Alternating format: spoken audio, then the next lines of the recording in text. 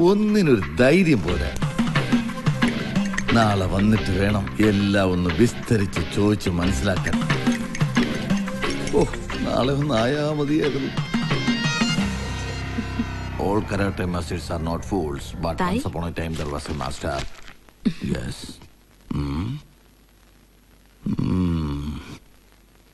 എന്താ പതിവില്ലാതെ പാലൊക്കെ ഉം, പോയിട്ട് വാ ഇതിയാക്കി തരാം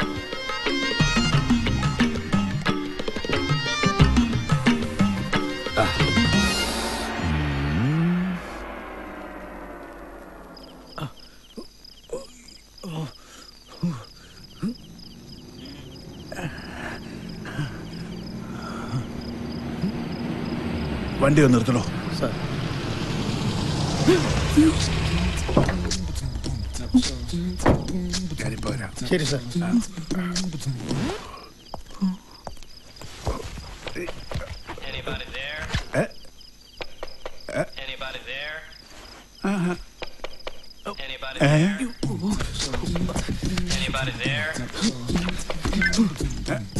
ഇതാവനല്ലേ എന്തു വരാത് മിസ് കോൾ വന്നതാ. എന്താടാ രാത്രി പൈപ്പ് ലൈന്? ടാങ്കിൽ വെള്ളം ഉണ്ടോ എന്ന് നോക്കാൻ കയറിയതാ നീ വന്നേ. അടുത്ത മാസത്തെ ലോൺ അടവും റെഡിയായി. വല്ലാ വല്ലാതെ താമസിച്ചുമല്ലോ ഷെർലി ഒരു ചായ. ഇനി പാൽ വേണ്ട. കെട്ടുവിടുന്നില്ലല്ലോ. നിന്റെ ആന്റിയോട് പറ. ഇത് രാത്രി പാലിക്കലക്കി കെട്ടിയവന് കൊടുക്കാൻ. You bloody cheat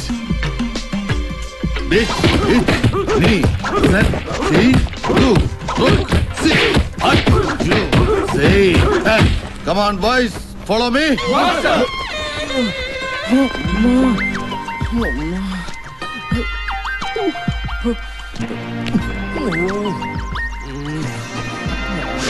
അമ്പരപ്പിക്കുന്ന ധീര പ്രകടനം നമ്മുടെ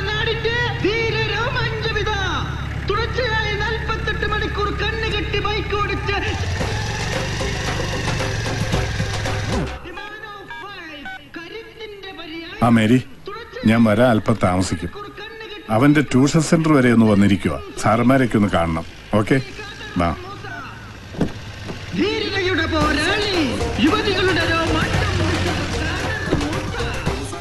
ഇയാൾക്കിത് എന്തിന്റെ കേടാണ്? ഭ്രാന്താണോ?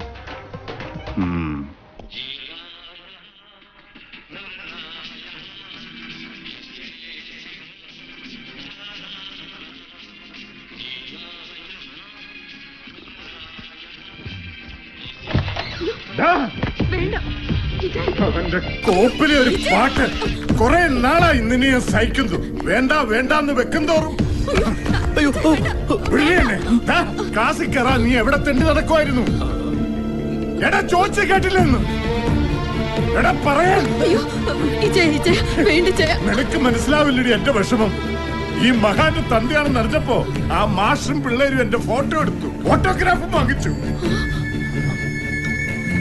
എന്തിനാണെന്ന് അറിയാമോ ഒരു ക്ലാസ് പോലും അറ്റൻഡ് ചെയ്തിട്ടില്ല അവന്റെ നോട്ടം കണ്ടില്ലേ? അടിച്ച് ചവിക്കുറ്റി പൊളിക്കോ വേണ്ടത്. എന്തിനാ ഇവൻ സുന്ദരക്കുട്ടൻ കളിച്ച് പോണെന്നറിയാവോ? കണ്ടാനും കണ്ട പൈപ്പേ വലിഞ്ഞു കയറാനുമാ ആ, എന്നെ കൊണ്ടൊന്നും പറയിപ്പിക്കണ്ട മതി ഇനി അവ നല്ലപോലെ പഠിച്ചോളൂ. പഠിക്കും. പഠിക്കും. അതിന് തലവര നന്നാവണം. ഇവന്റെ തലയിൽ കർത്താവ് പഠിപ്പിന്റെ വരെ വരച്ചിട്ടില്ല. ഇങ്ങോട്ട് വാ. എന്റെ എല്ലാ പ്രതീക്ഷകളും അത് തകർക്കണം? മോനെ നീ പഠിക്കുമല്ലേടാ ആ. അവൻ പഠിക്കും. നടക്ക് നടക്ക്.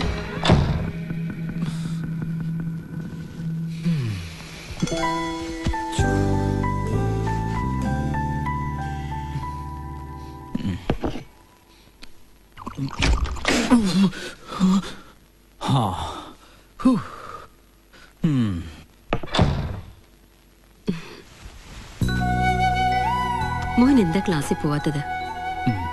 പാവം. ഡാഡി ഇന്ന് ട്യൂഷൻ സെന്ററിൽ പോയിട്ട് ആകെ ഇൻസൾട്ടായി. അതാ ഞാനും പോവാത്തത്. പോയിട്ട് കാര്യമില്ല മമ്മി. എനിക്ക് ഒന്നും തലേ കയറുന്നില്ല അതൊക്കെ നിന്റെ തോന്നലുകളാ മോനെ. ദാ ഇത് സോഫി തന്ന നോട്ടാ. ഇത് നോക്കി എല്ലാം എഴുതിയെടുക്ക്. മോനെ പഠിപ്പില്ലെങ്കിൽ ഇന്നത്തെ കാലത്ത് ഒന്നും ആവാൻ കഴിയില്ല. നീ എന്താ അത് മനസ്സിലാക്കാത്തത്?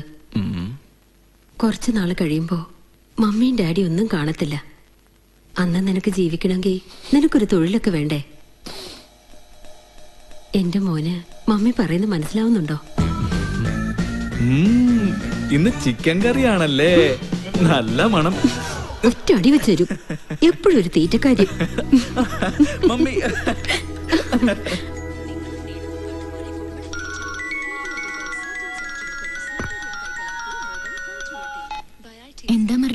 നീ എന്തിനാ എന്റെ ഡാഡി ഇൻസ്റ്റിറ്റ്യൂട്ടിൽ കൊണ്ടുപോയത്? ഞാനൊന്നുമല്ല. അങ്കിൾ വന്നതാ. ഓഹോ. അപ്പൊ നീ ബുക്ക് കൊടുത്തു വിട്ടത്? അത് എക്സാം വരുന്നതിനാൽ ആരും നിനക്ക് നോട്ട് തരില്ല. അതാ ഞാൻ. ഓ വലിയ ഉപകാരമല്ല ചെയ്തത്? നീ നിന്റെ കാര്യം നോക്കിയാ മതി. എന്റെ ട്യൂഷൻ ടീച്ചർ ആവണ്ട. വലിയൊരു പഠിപ്പുകാരി വന്നിരിക്കുന്നു. എന്റെ കാര്യം ഞാൻ നോക്കിക്കോളാം. നീ ഇടപെടണ്ട. കേട്ടോടി ഞൊണ്ടി.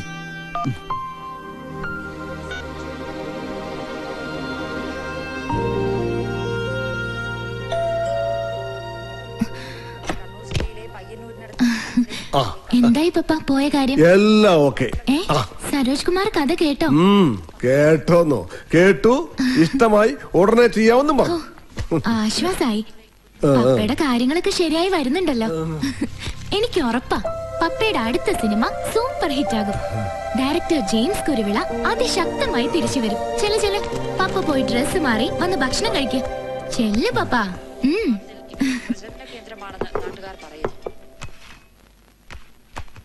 അടുത്തതായി film news. Super star Saroj കുമാറിന്റെ പുതിയ സിനിമയുടെ ഷൂട്ടിംഗ് ലണ്ടനിൽ പുരോഗമിക്കുന്നു. ഈ സിനിമയുടെ പേര് ഇതുവരെ നിശ്ചയിച്ചിട്ടില്ല. ഒരു മാസമായി ഷൂട്ടിംഗിൽ ഏർപ്പെട്ടിരുന്ന സരോജ് കുമാറും സംഘവും ഷൂട്ടിംഗ് അവസാനിപ്പിച്ച് ഈ മാസം അവസാനം മടങ്ങി വരുമെന്ന് പ്രതീക്ഷിക്കുന്നു. സൂപ്പർ സ്റ്റാർ സരോജ് കുമാറിന്റെ അൻപതാമത് ചിത്രം എന്ന പ്രത്യേകതയും. തിരിച്ചെത്തിയ ശേഷം തൻ-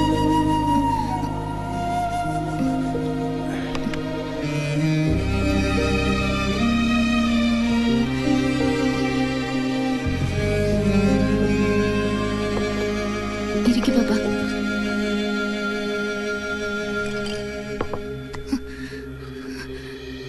സോറി മോളെ.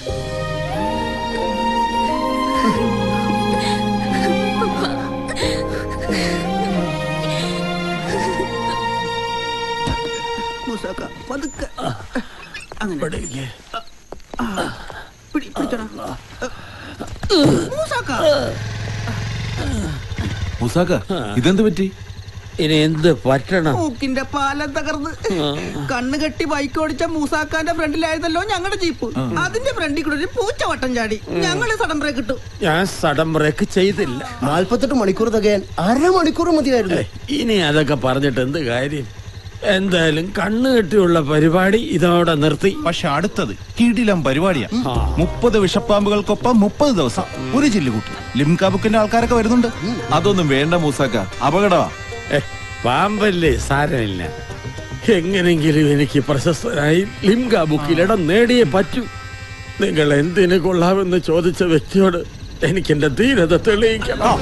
ആ മാധ്യമങ്ങളെയൊക്കെ അറിയിച്ചോ? എല്ലാ ഓക്കെ. അപ്പൊ ശരി. All the best thank you good night good night ഒരു ജലദോഷം.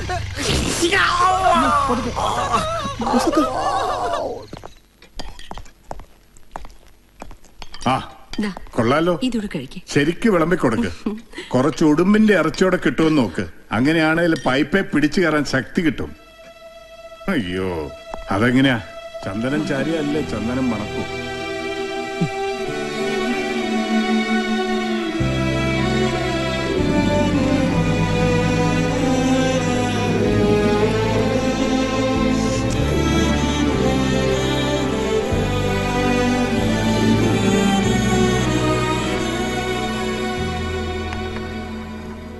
എന്താ ഇപ്പൊ ബിസിനസ് ചെയ്യണമെന്ന് തോന്നാൻ? മടുത്തു ചന്ദ്രേട്ടാ. ഡാഡിയുടെ ചെലവ് പറ്റിയുള്ള ഈ ജീവിതം. എപ്പോ നോക്കിയാലും ശപിക്കാനും പരിഹസിക്കാനുമേ അങ്ങേർക്ക് നേരമുള്ളൂ. മമ്മിയെ ഓർത്തിട്ടാ ഞാനൊന്നും പറയാത്തത്. നിന്റെ ഡാഡി അല്ലേടാ ചന്ദ്രേട്ടന് അറിയാൻ വയ്യാത്തോണ്ടാ. ഒരുമാതിരി കൊച്ചു പിള്ളേരെ പട്ടാളച്ചിട്ടയ്ക്ക് നിർത്തും പോലുള്ള പെരുമാറ്റം അങ്ങേരുടേത്. അതിരിക്കട്ടെ. നീ എന്ത് ബിസിനസ്സാ ചെയ്യാൻ പോകുന്നത്? ഇന്റർനെറ്റ് കഫേ ഇന്റർനെറ്റ് കഫേയോ അതിവിടെ ഒരുപാടെണ്ണം ഇല്ലേ എത്രയുണ്ടായാലും തികയില്ല ചന്ദ്രേട്ടാ. ഈ ചാറ്റിംഗ് ഇമെയിൽ എന്നൊക്കെ പറഞ്ഞ് കഫേയിലെത്തുന്ന അധികം പേരും വാതിലടുത്തിരുന്ന് കാണുന്നത് മറ്റതാ. പെൺകുട്ടികൾ വരെ ഫോൺ സൈറ്റിന് അഡിക്റ്റാ. ഇടം ഇടുക്ക. കൂടാതെ ഞാൻ കുറെ മസാല സീഡുകൾ വാങ്ങി കമ്പ്യൂട്ടറിൽ സേവ് ചെയ്ത് വെക്കും. പിന്നെ ജനം ക്യൂ ആയിരിക്കും ക്യൂ. നീ ഒരു പൂളാനാണല്ലോ. ആട്ടെ ഇതൊക്കെ ചെയ്യാനുള്ള പൈസ അതിനല്ലേ ഞാൻ ചന്ദ്രേട്ടന്റെ അടുത്ത് വന്നത്? ആഹാ അത് ശരി. എടാ പൈസക്കാണോ ബുദ്ധിമുട്ട്? ബാങ്ക് അല്ലേ വീട്ടിലിരിക്കുന്നത്? ഡാഡിയോട് പോയി കൈ നീട്ടാനോ? ഞാനില്ല.